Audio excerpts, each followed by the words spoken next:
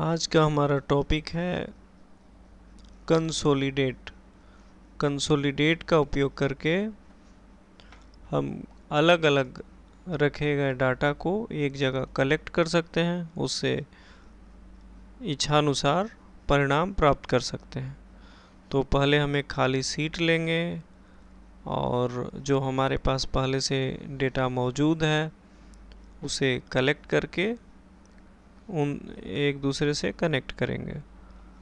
तो करके देखते हैं। यहाँ पे है कंसोलिडेट और कंसोलिडेट पे क्लिक किए।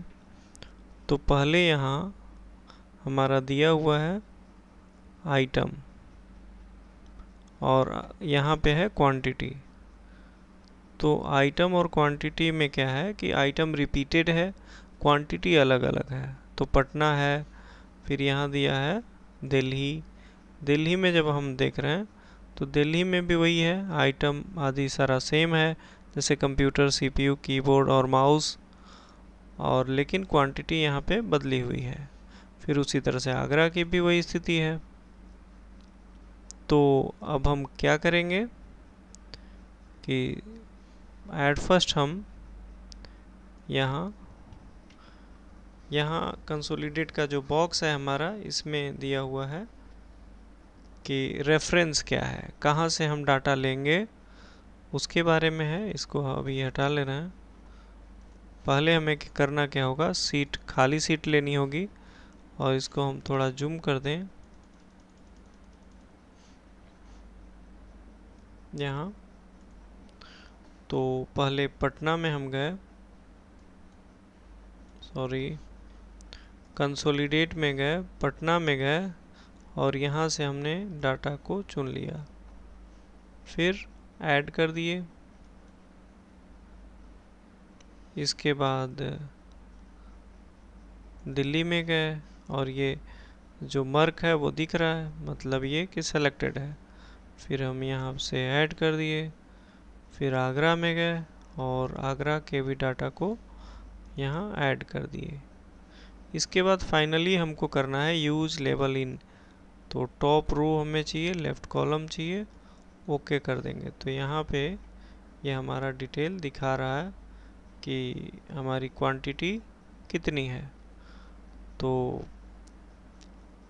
अब हम इसको क्या करेंगे कि यदि हम इसका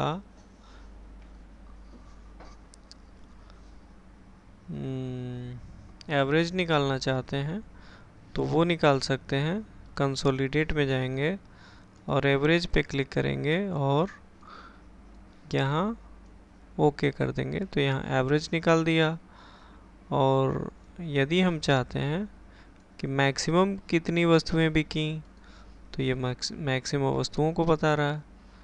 तो इस तरह से हम कंसोलिडेट से रिलेटेड वर्क कर सकते हैं। इसके लिए हमने किया क्या था कि पहले हम अलग अलग जगहों पे डाटा रखे हुए थे, उसके बाद एक नई सीट खोले। इसके बाद हमने क्या किया कि कंसोलिडेट में गए और यहाँ एक जगह पे जाके उस डाटा को हमने कलेक्ट कर लिया। फिर दूसरी जगह पे गए, वहाँ से भी कलेक्ट कर लिए, तीसरी जगह पे गए, वहाँ से भी कलेक्ट कर लिए। फिर हमने लेबल को क्लिक करके ओके कर दिया। तो ये सारा डाटा हमारा यहाँ आ गया। तो इस तरह से हम इस काम को कर सकते हैं।